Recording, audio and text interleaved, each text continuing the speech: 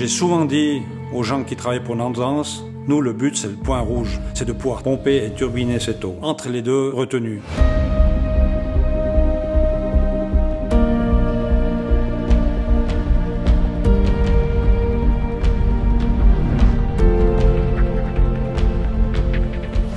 À l'origine, les concepteurs du projet se sont basés sur le fait que l'Europe risquait à l'avenir de manquer d'électricité. Avec la centrale de pompage-turbinage de Nantes-de-Drance, ils voyaient un moyen de répondre à ce défi.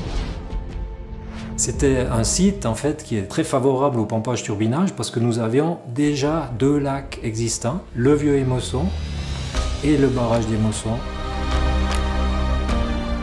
Le projet est d'abord porté par deux actionnaires, les CFF et Alpic.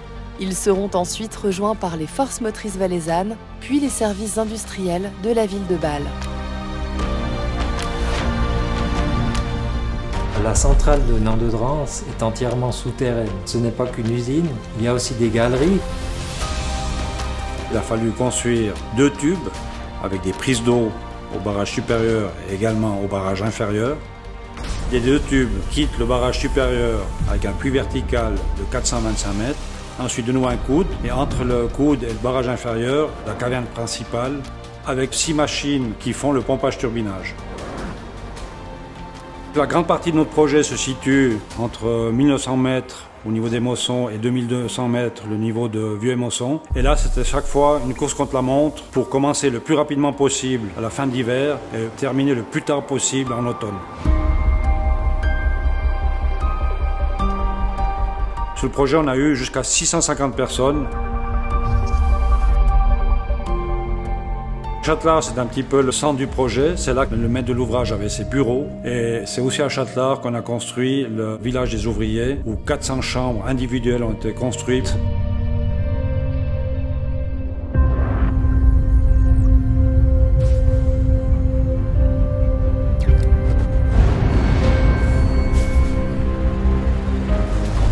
Au début du projet, l'avancement était spectaculaire. Il y a eu par exemple le percement de la caverne principale, 52 mètres de haut, 190 mètres de long.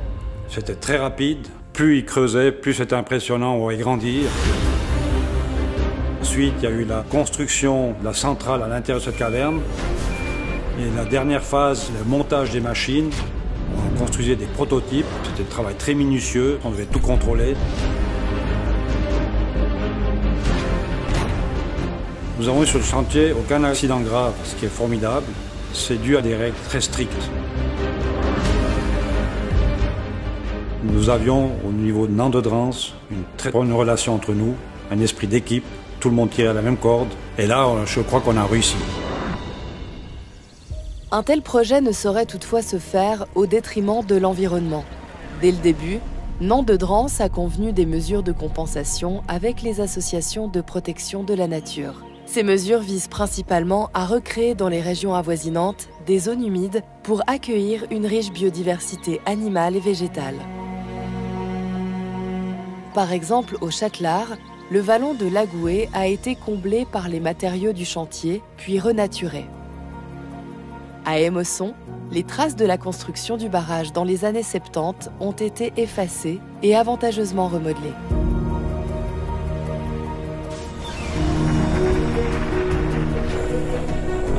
lorsque la turbine a commencé à tourner pour la première fois. C'était vraiment l'eau qui poussait cette turbine. Il y avait beaucoup de monde, c'était tendu, il y avait une atmosphère. Est-ce que la machine tournera ou ne tournera pas? Est-ce qu'elle s'est mis à tourner? On a entendu ce ronronnement fantastique et c'était un grand moment.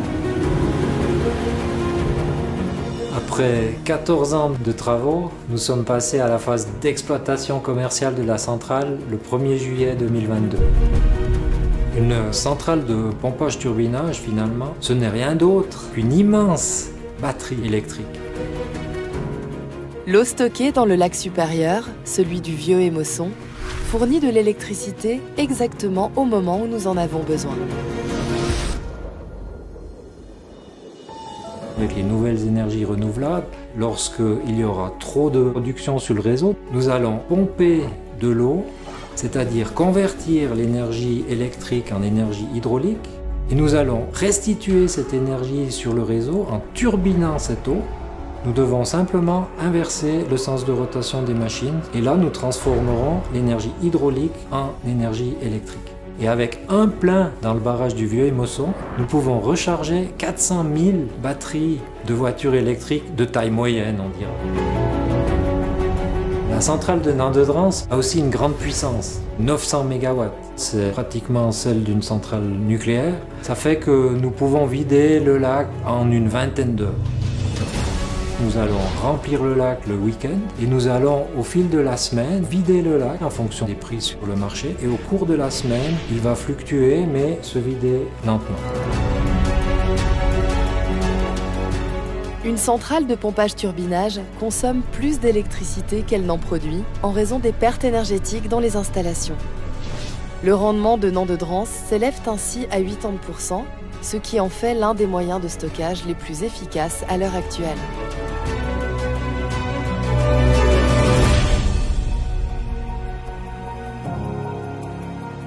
La centrale de Nandedrans a un rôle primordial à jouer pour notre sécurité d'approvisionnement en électricité.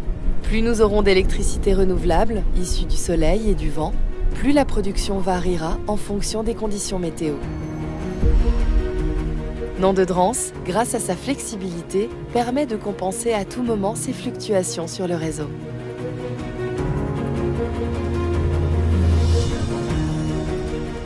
L'électricité produite par la centrale est injectée sur le réseau à très haute tension de Swissgrid, la Société nationale de transport d'électricité. Nous sommes connectés au réseau européen et nous avons, avec cette centrale, un très bon moyen d'assurer la régulation de ce réseau et la sécurité d'approvisionnement en Suisse. La décarbonation de notre économie pour protéger le climat aura pour conséquence une électrification croissante de notre société. Nandedrans jouera donc un rôle essentiel dans l'avenir énergétique suisse et européen. Lorsque j'entends ronronner les machines, je me dis le devoir est accompli, nous avons réalisé notre but. L'aménagement de Nandedrans a été construit pour les générations futures. La concession va durer 80 ans. Tout comme nos aïeux avaient construit les aménagements existants pour nos besoins actuels. Et nous sommes vraiment fiers du résultat et nous sommes persuadés qu'ils en prendront grand soin.